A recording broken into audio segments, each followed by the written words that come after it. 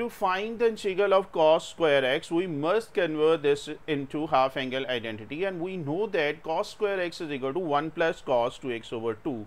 So, you can write it as 1 plus cos 2x over 2 by taking integral separately we have integral of 1 is equal to x and integral of cos 2x is equal to sine 2x divided derivative of its angle. We know that the derivative of 2x is equal to 2.